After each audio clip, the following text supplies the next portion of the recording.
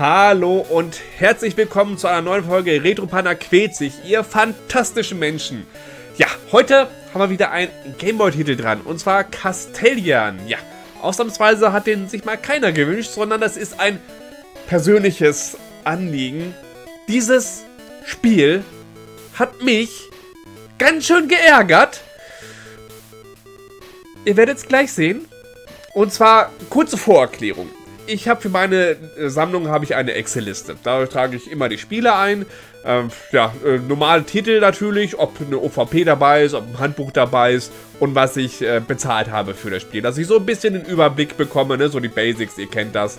Dass man so ein bisschen den Überblick bekommt, wie viel ist ungefähr meine Sammlung wert, beziehungsweise, okay, es heißt ja nicht, dass ich jetzt, äh, es ist immer nicht der Kaufwert, dass das jetzt momentan wert ist, aber dass man so eine ganz, ganz grobe Orientierung hat.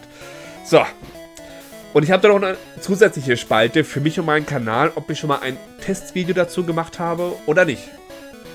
Habe ich jetzt letztens geschaut, was für ein Spiel könntest du mal wieder testen? Castellian war darunter. Und ich dachte mir, okay, gut, sagt dir nichts, spielst du mal rein. Freunde. Das Spiel hat mich so geärgert, dass ich es, ich glaube, nach 5 Minuten in die Ecke geworfen habe und gesagt habe, nein, du, du kommst hier schön in die Quält sich Serie. Und ihr werdet sehen, warum. Kurzes Vorwort, so ein bisschen Vorrecherche hatte ich ja schon getan. Das ist eigentlich ein C64-Spiel, war es, glaube ich. Auf jeden Fall kommt das ursprünglich vom Heimcomputern. Und äh, es ist äh, interessant. Okay, und zwar seht ihr, wir spielen ja diesen kleinen Drachen. Und unser Ziel ist jetzt, diesen Turm hoch zu äh, gehen. Ihr seht, ähm, es fängt schon an. Bewegung ist eingeschränkt, ihr könnt nämlich nicht springen. Ne? Hier der B-Knopf macht nichts, A-Knopf, da schießt er so ein bisschen. Besonderheit ist halt so ein bisschen, was auch ganz nett gemacht ist, halt diese grafische Rotation. Und da müsst ihr halt immer in diese Türen reinrennen, damit ihr dann halt entsprechend woanders rauskommt. Und ihr seht schon,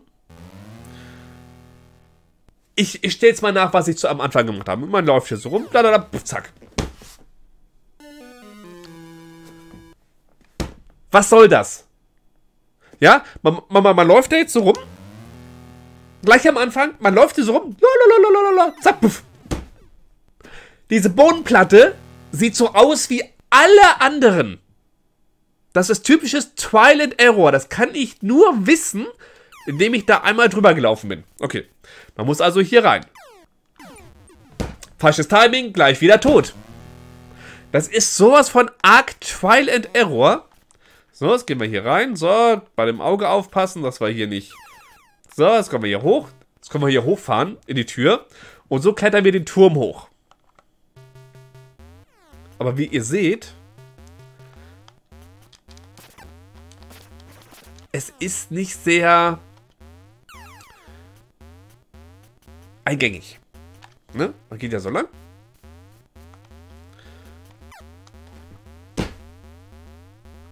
Woher soll ich jetzt wissen, dass, dass dieser Dings auf mich drauf fällt? So. Muss ich hier lang? Muss ich hier wahrscheinlich nach unten? Hier wieder hoch? Da wieder hoch? Es ist halt so, wenn man hier wenigstens springen könnte. Ja, Timing vor dem Auge konnte ich jetzt nicht abpassen, weil ja dieses Ding da jetzt hinter mir kam. Also es ist irgendwie so, man kann das Spiel nicht sehr intuitiv lesen. Man muss sich halt merken, wo welches, äh, welche Gefahr lauert. Es ist Level auswendig lernen. Und sowas finde ich fake Spieldesign. Weil es gibt hier wirklich viele Sachen. Jetzt muss ich hier ausweichen. Keine Ahnung. Ist das jetzt weg? Ja. Äh, weil man hier wenigstens springen könnte, ne? Dann könnte man ja wenigstens irgendwie das so ein bisschen abpassen. Und, und gegen Zeit muss man auch noch kämpfen, Freunde.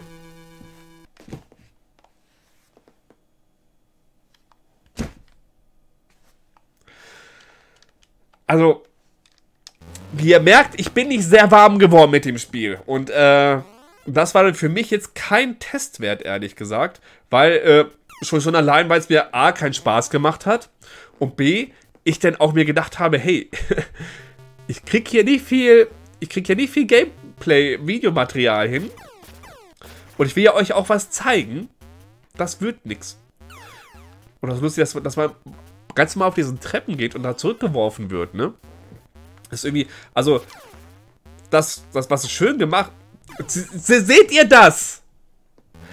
Ich hatte da noch nicht mal irgendwie eine Chance. Vielleicht hätte ich äh, sagen sollen, dass ich mich sehr aufrege bei diesem Spiel. Und ich finde es halt sehr undurchsichtig, welche Gegner ich jetzt kaputt schießen kann und welche nicht. Das ist irgendwie, ne, diese, diese Bälle hier geht. Warum aber? Ja, okay. Das war jetzt mein Fehler.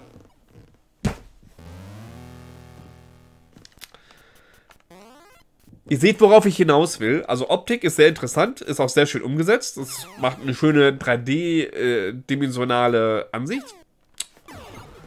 Aber dieses...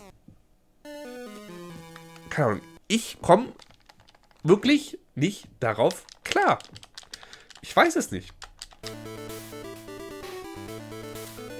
Es gibt auch kein, natürlich kein Passwortsystem oder ähnliches. Ach ja.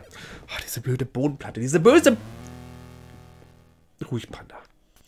Ganz ruhig. Das wird auch diesmal echt keine lange Folge werden. Ich wollte euch nur mal dieses Spiel zeigen und wie sehr mich das geärgert hat. Beim 5 Minuten Anspielen. Weil ich mir dachte, das kann doch nicht sein. Es muss ja, das Spiel muss ja eine gewisse Beliebtheit haben. Sonst wäre das natürlich auf verschiedenen Systemen erschienen. Aber mir erschließt sich das nicht mal ansatzweise. Ich weiß es nicht. Klar, Level auswendig lernen. Toll, ja. Ich weiß nicht, ob die, ob die anderen Versionen besser sind. Keine Ahnung. Kann ich nicht sagen. Kann ich fucking nicht sagen. Oder das hier zum Beispiel, ne? Das ist so... Das ist so unnötig. Warum diese Bodenplatten da verschwinden? Das ist so fucking unnötig. Man kommt immer so ein bisschen weiter. Ja, klar, sicher. Toll. Toll. Wenn ich einen Haufen Kacke nehme und der immer größer wird, bleibt es trotzdem ein Haufen Kacke. Vielleicht die falsche ähm, Metapher dafür. Obwohl, pff, so falsch eigentlich ehrlich gesagt nicht. Dann halt noch, dass es noch auf Zeit geht, ne? Und noch da wieder. Diese blöde Fliese da.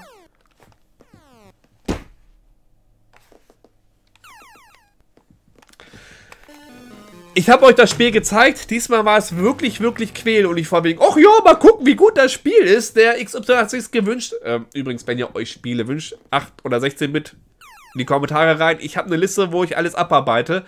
Aber das Spiel, das war mir ein persönliches Anliegen, euch das zu zeigen. Vielleicht seid ihr Fans, vielleicht seht ihr in diesem Spiel was, weil vom Prinzip her, okay, da ist eine Idee dahinter. Aber meins ist es nicht mal ansatzweise. Aber danke, dass ihr mir dabei zugeschaut habt und ich wünsche euch noch einen wunderschönen Tag, egal was ihr noch vorhabt. Macht's gut!